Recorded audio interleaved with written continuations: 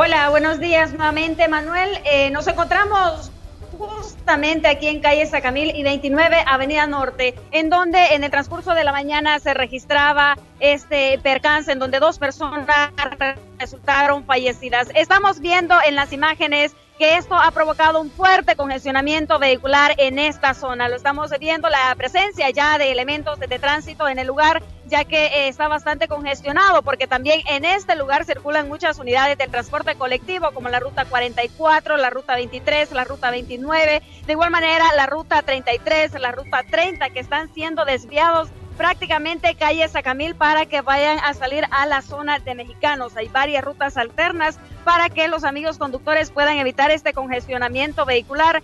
Por ejemplo, también pueden tomar la comunidad Flor Blanca saliendo por los edificios 80, nos decían, la calle eh, Tobogán por la colonia Libertad y de igual manera pueden buscar la Bernal. Así entonces el tránsito vehicular, esto como ya lo decíamos, a raíz de un hecho que se registró más temprano en donde dos personas resultaron fallecidas eh, producto de haber sido atropelladas por el camión que estamos eh, viendo prácticamente al fondo, a escasos metros, compañeros, de una pasarela en este lugar. Reiteramos los nombres de las personas, eh, ya que nos decían que estas dos personas han quedado justamente a la par, pero no eran conocidos. Es decir, una persona ha sido identificada como Jesús Martínez Mengíbar, de 55 años. Él era empleado de la alcaldía de San Salvador, mientras que la otra persona que quedó justamente a la par se identificó como José Oscar Montano Raimundo, de 63 años de edad. Todavía se está procesando la escena y estamos viendo que prácticamente la arteria ha sido cerrada en su totalidad.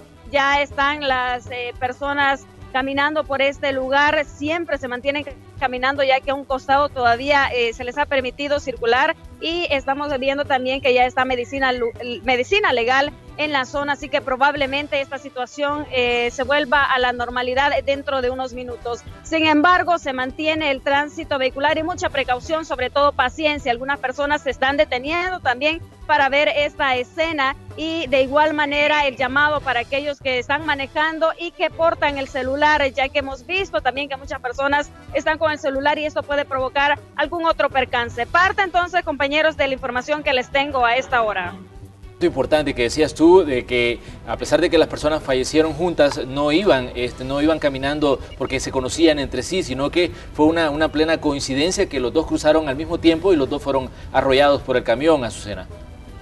Efectivamente, Manuel, eh, aquí al ver el que una persona trataba de cruzarse la calle, probablemente la otra también lo siguió y no pudieron ver eh, la excesiva velocidad con la que se conducía este camión. La persona que conducía este camión va a ser detenida por el momento, nos decían los elementos de la Policía Nacional Civil, para determinar cómo exactamente se dieron estos hechos. En la zona es bastante oscuro, así que mucha precaución y sobre todo también utilizar esta pasarela. En redes sociales se mencionaba también, Manuel, de que en esta pasarela estaban dañadas algunas eh, gradas.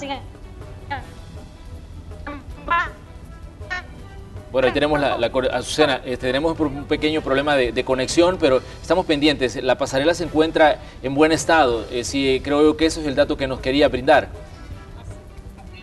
Correcto, correcto, Manuel. Eh, te comentaba que en redes sociales decían que esta pasarela estaban dañadas las gradas, pero estamos viendo que efectivamente están eh, normal, sin mayores inconvenientes, no hay daños en esta pasarela, o sea que las personas sí pueden utilizarla, que no hay excusa para que no la utilicen. Estamos subiendo para que ustedes puedan constatar que efectivamente no hay ningún daño en estas gradas. Bueno, ese es un dato importante porque muchas veces eh, no se utiliza por negligencia del conductor y también imprudencia o de, de las personas que van, de los peatones en este caso, que no la utilizan porque creen que se va a tomar más tiempo, pero no sabemos que esto le puede costar la vida, el no hacer uso de esta infraestructura creada precisamente para que la vida de los peatones no se ponga en riesgo. Y sí sabemos que también, Azucena, en algunos puntos hay reportes eh, ciudadanos de las personas que dicen que, bueno, las pasarelas o están en malas condiciones, en las gradas no se puede caminar o que también están ubicadas en zonas de alta incidencia delictiva y que esta sería la razón por la cual no la están utilizando. Por eso, qué importante que nos recalques ese dato, que tú misma has hecho el recorrido y has verificado que sí, efectivamente se puede utilizar sin mayor inconveniente la pasarela. Correcto, incluso hemos podido constatar también que en la pasarela... Eh, bueno, tenemos, como decíamos,